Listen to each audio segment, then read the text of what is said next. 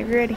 Hi, uh, my name is Marge Fulton, and I'm at the uh, Kentucky Appalachian Paranormal Society's second annual convention here at Jenny Wiley uh, State Park. And I came over here with uh, a couple of uh, fellow artists to show some of our uh, unusual art pieces. And also, I'm an author, so I kind of have a split personality, I guess, that I, I write and you know, I deal a lot with that. And I'm a, you know, I also paint and sketch a lot. So I go back and forth. And uh, my latest book is called The Holler.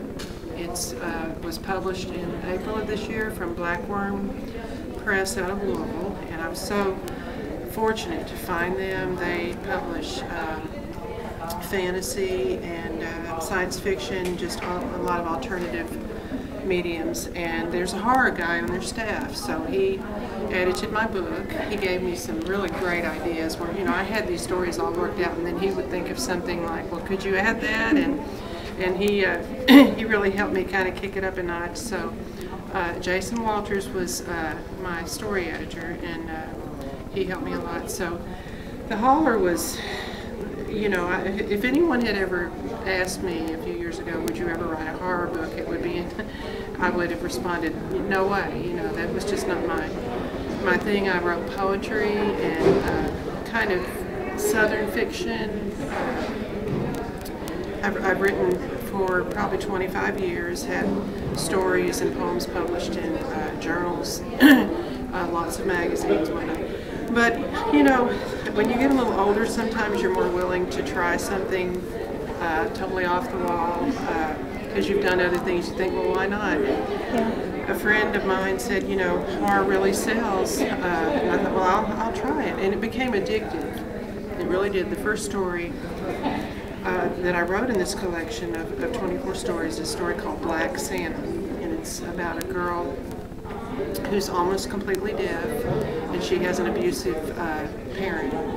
And when she was young, she wasn't allowed to have uh, this black Santa doll. And the story kind of takes its twists and turns, but uh, as an adult, that's just a an issue that she has always felt bad about. Uh, so she goes, she's determined to get one, and she kind of has the mind of a child so once I wrote that story, I was like, well, where in the world did that come from? You know, I, I didn't think I could even even uh, think of storylines like that. And then I, you know, I wrote more and more uh, horror, and uh, and then I had some ideas on some things that were really not, you know, uh, they were fantasy related. So just put them all together, and uh, the horror has, I mean, the the holler. Um, actually my daughter thought of the name, and it just seems like such a basic name. You think, well, surely someone's thought of that before, but they hadn't. I haven't found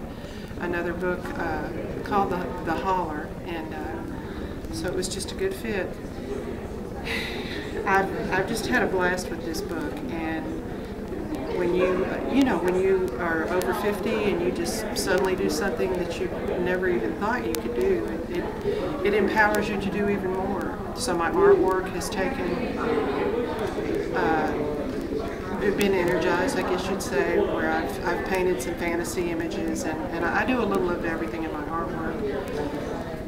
So anyway, uh, The Holler is a book that, uh, you know, it does represent the Appalachian area with uh, very uncanny characters, people who are uh, really on the verge of uh, losing their minds, uh, people who who are so isolated. That's that was the kind of the uh, background for the book because so many of the characters in the holler are so isolated due to geography that they uh, they really don't have any check and balance for, for, what's normal or whatnot. So you have some people that live in their own reality and uh, and do things that you would never dream of. So you don't need to go to outer space or, or uh, another realm to, to find a world that's different. And, you know, living here, and I, I love living here. We've lived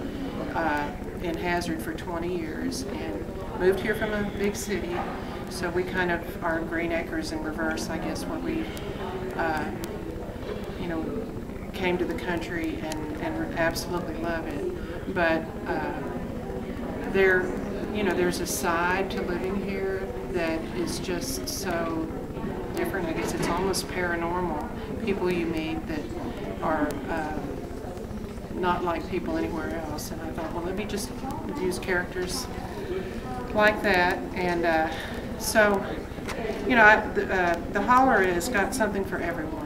The stories are short. I've read a lot of uh, short, short fiction, Mm-hmm. flash fiction. I've, the, I've, you know, kind of become a fan of that, and I wanted to write some, but it was really easy to write flash fiction with horror because you can just have somebody stumble into something Yeah. uh, unthinkable, and then uh, something totally bizarre happens, and that's the end of the story. So I, I like doing the, the short shorts. You don't really have to explain uh, what happened before or kind Yeah. of tie up the loose ends. You just leave it leave it hanging. Yeah. And uh, so I've, I'm really proud of this book. Uh, it's it's funny though because it's like I don't really want certain people in my family, you know, to read it. It's uh, because it's like a side of me that no one has seen before. but uh, I've had I've had really good reaction to the book, and it's for sale on the uh, BlackWyrm.com site, and of course on Amazon and and all these uh, these sites. It's a good price. Um, so check it out. I think you'll, if you're a fan of horror, speculative fiction in any way, shape, or form, uh, this this book is uh, it's regional horror, and uh, that's that's something that I'm I'm really proud of. You can read horror stories that can take place anywhere, you know, New York City or or uh, anywhere, but this, you know, being regional horror, it's one of a kind, and something that you know you don't have to be from uh, Eastern Kentucky or Appalachia to really understand uh, what goes on or the way people think Yeah. in the book. Uh, it's not complicated, so I hope that the book, uh, you know, you can get your hands on the book. If, uh, if you can't get it, ask your library to order it uh, any any way, shape, or form. And it's also available with electronic formats. Uh, I can't name them all. I think one is called uh, Smashwords. There are several uh, ebook formats that do have the book, and you can also go go on uh, I think Smashwords and read uh, several of the stories for free. I think some of these places post like half of the book for free, which I figure if you read half the book, some people may say, well, I, Might as well read the rest of it. yeah. but uh, some of the best stories are at the end, so don't don't be happy with just half. And, uh, but thank you so much for letting me talk about it, and I, I love writing. I've kind of gotten more into my visual art lately.